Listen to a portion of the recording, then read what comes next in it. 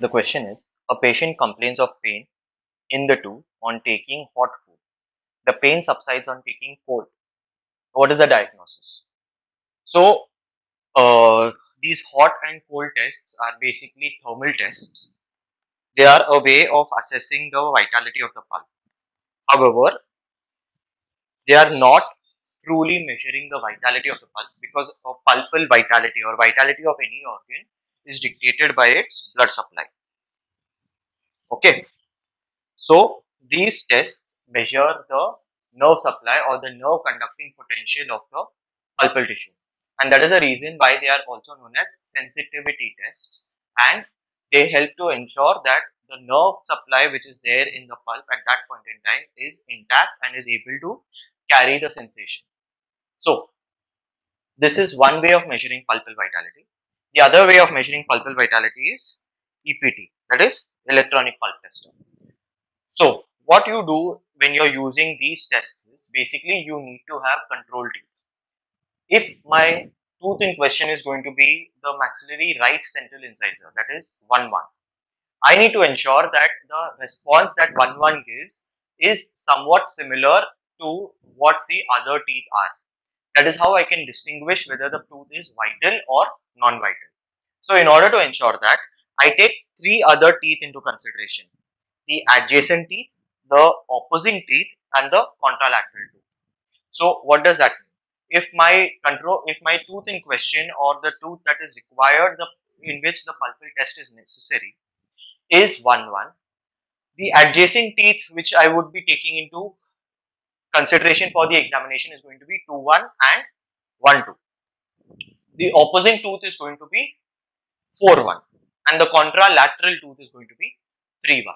So, if I am taking the left maxillary first molar as the tooth which needs the pulpal vitality to be assessed, my control teeth are going to be 2 7, 2 5, 3 6, 1 6 and 4 6.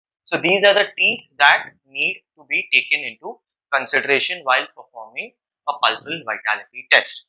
Adjacent, contralateral, opposing. Okay.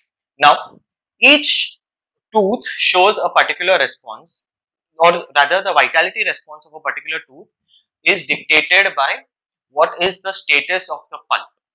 For example, if my pulp is in a state of reversible pulpitis. That means pulpitis means there is inflammation in the pulp.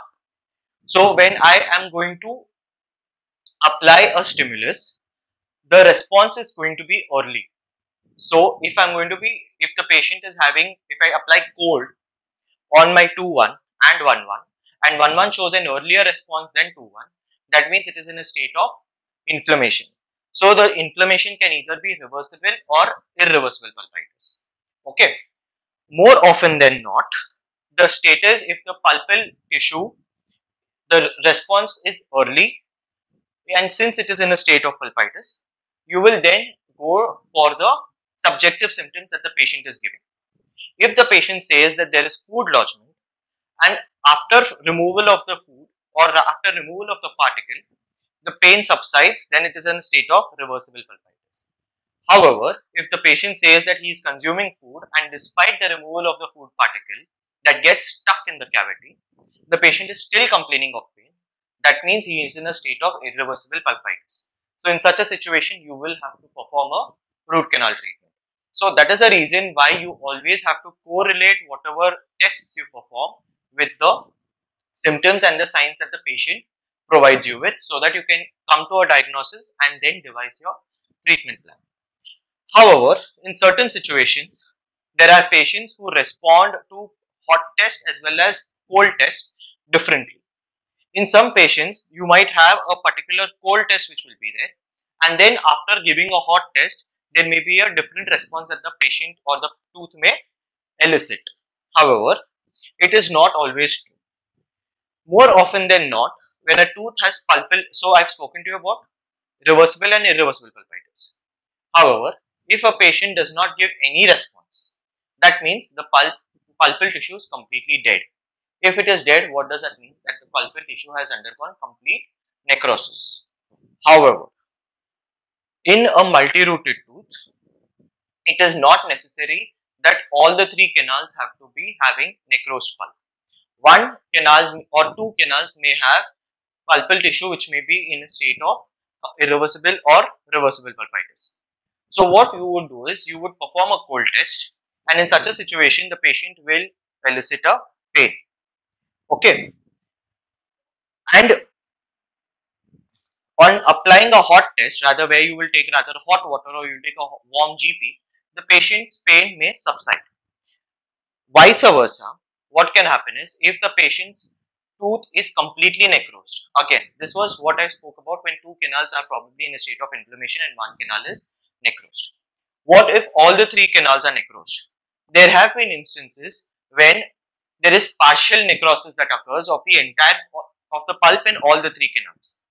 In such a situation, what will happen is, what you would do, you give the patient warm or you use a hot test by using heated GP, gutta percha. After that, when you apply a cold stick, the cold com completely subsides. Sorry, the pain completely subsides. This is very typical of pulpal necrosis or partial pulpal necrosis as they call it. That is because the nerves which are there, they get irritated by the heat and once they are irritated by the heat, when you apply the cold, the irritation subsides. The nerves are not or in a state of relaxation. And that is the reason why in partial pulpal necrosis, you may have uh, pain that may be aggravated by heat and that is relieved by cold. However, it is like I told you, not always necessary.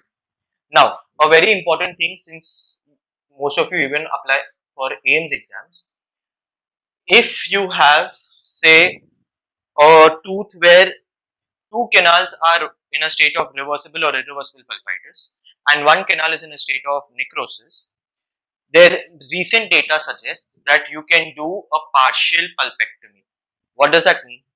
Wherever the canal is necrosed, you can remove the pulpal, pulpal tissue from that canal and you can leave the pulpal tissue in the other two canals as it is.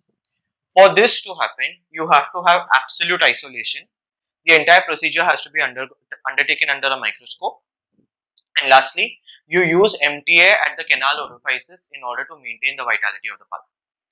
Third thing, this entire procedure that I spoke to you about, the, the most important clinical factor which determines whether you do a partial pulpectomy or not is going to depend upon whether you are able to achieve hemostasis, that is stop control of bleeding from the pulpal tissue.